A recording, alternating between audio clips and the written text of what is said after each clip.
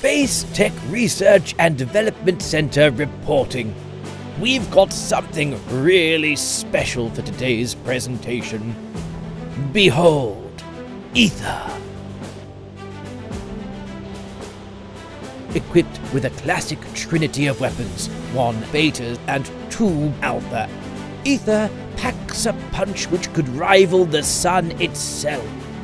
Aether's first ability, Vigor, provides speed and repair. Aether can stack the speed increase up to three times and stay quick on its feet. But what of the wings? Aether can soar in the sky. While in the air, it shields itself with a force field while also unleashing the cosmic might of an EMP laser. Any robot the laser hits can't use its abilities or modules. Wow. If I still had hands, I'd be applauding now. W- wait, Who, who's speaking? The higher you fly, the harder you fall. Th- th- th- That wasn't in the script. We've been hacked.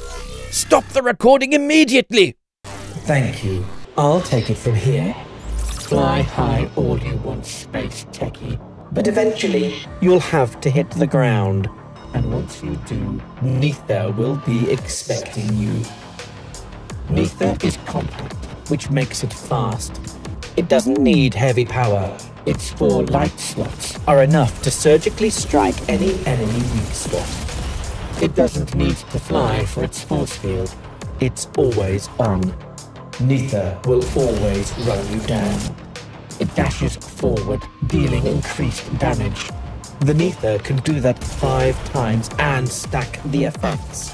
It also applies EMP in case you ever think about escaping its attentions. Fleeing is pointless. Beware of Nether space techies, for it is coming for your robots, your ships, your colonies, your pilots. Did you capture him? No one should see that footage. Delete it right now. Uh, yes, we'll have to record from the beginning. Hmm. SpaceTech Research and Development Center reporting. We've got something really special for today's presentation.